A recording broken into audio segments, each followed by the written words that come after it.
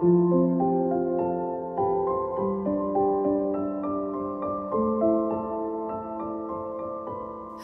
darkness, my old friend. I've come to talk with you again because the vision softly creeping left its seeds while I was sleeping, and the vision that was planted in my brain still remains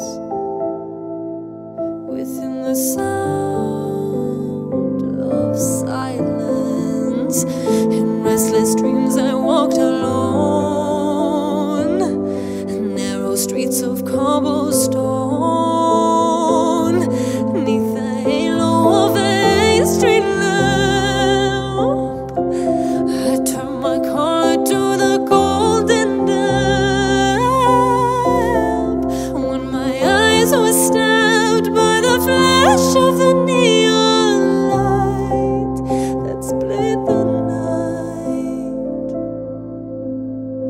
and touched the sound of silence. And in the naked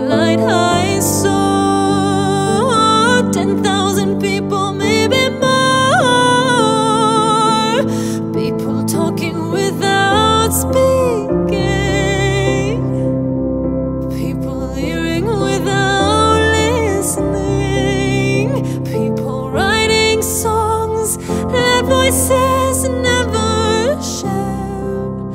And no one dared disturb the sound